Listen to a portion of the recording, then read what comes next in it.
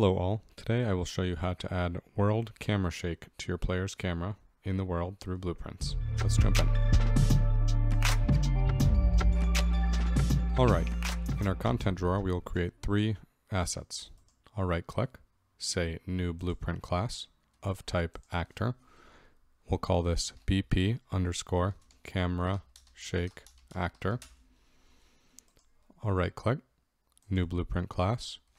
I will search camera shake and it will create one of camera shake base. I'll select. I'll call this CS for camera shake. Simple shake explosion. I'll right click one more time. We'll create a, Ni a Niagara system. I'll do a system from selected emitter. I'll scroll down to an omnidirectional burst. I'll hit the plus sign, then hit finish. I'll call this ns underscore explosion burst. What we are going to do to illustrate this effect is we are going to create a small trip mine that explodes when the player overlaps it. First, we'll create the Niagara system. I'll double click. We're going to make this very simple. I'm going to go to spawn burst instantaneous. I'll change this number to 1000. I will go to add velocity from point and I will change this to 50, uh, negative 50, so that it shoots upwards.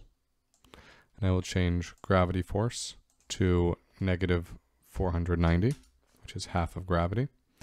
And then in initialize particle, where it says color, I'll click this downwards arrow and say random range linear color. And I will select two colors, and this will make the particles that it spawns uh, have an RGB value between these two colors. So if I make it, you know, sort of orange and red, you'll see here that the particles will all be, you know, sort of between those two values. I'll compile and I'll save. Next, I'll create my camera shake values. In my content drawer, I will click on my camera shake asset I've created, double click, and on the right where it says root shake pattern, I'll click where it says none. And I like the Perlin noise camera shake. That's what I'll use in this example. You can always use the wave oscillator or the sequence camera shake pattern. I use the Perlin noise the most though.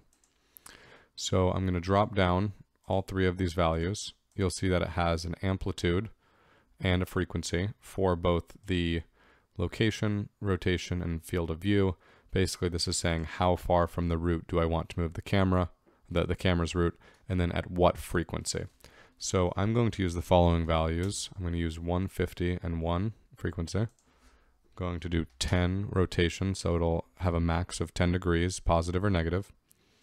And then in field of view, I'll say 25. And I will make this 2 seconds long with a very quick blend in of 0.05 and a blend out of 1 so that it has an aggressive start and then fades out after 1 second because its frequency, each of these values should happen two times in this two second time span. Okay, now let's open our blueprint. I'll control space to open up the content drawer and I will double click my camera shake actor. I will add three components. I will add a sphere. I will add a cylinder. I will add a sphere collision and by default it's parenting all these to the sphere. I'm going to drag it onto the sphere or onto the default scene root and say attach to remove that. And so I'm going to rename sphere 1 collision.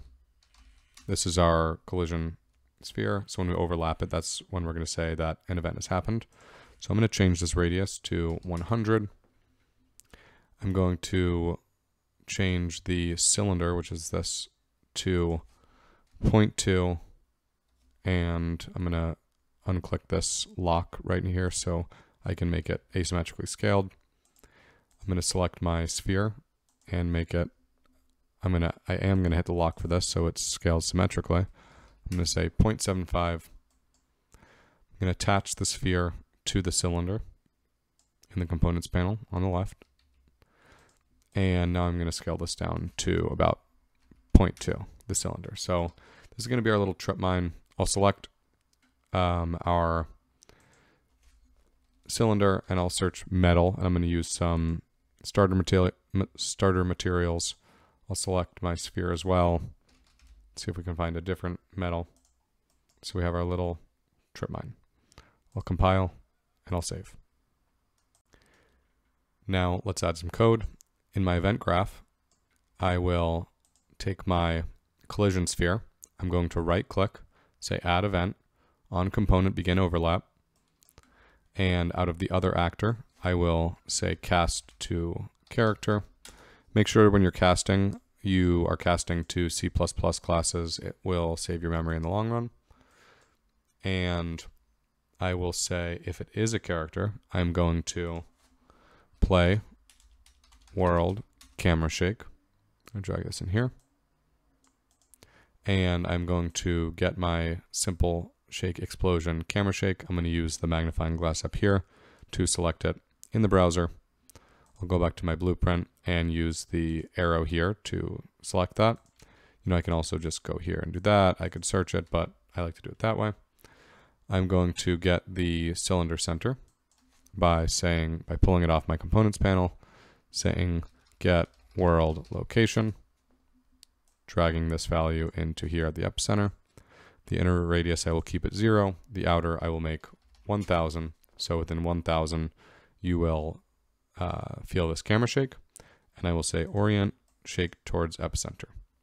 Then I will pull off here and say spawn system at location and use the same location that I used here. The asset type, I'm going to select my Niagara system. I will put it here with the gray arrow. And then I'm going to say destroy actor, drag in here. And so what will happen in this chain of logic is that when something overlaps this sphere it will test, is this a character? If it is a character, it's going to add this camera shake that we've created. It's going to spawn this sort of explosive effect, and then it's going to destroy, destroy this actor so that it can only explode once. Let's test this out in our environment. In my environment, I will take my blueprint and I will drag a few into my play space.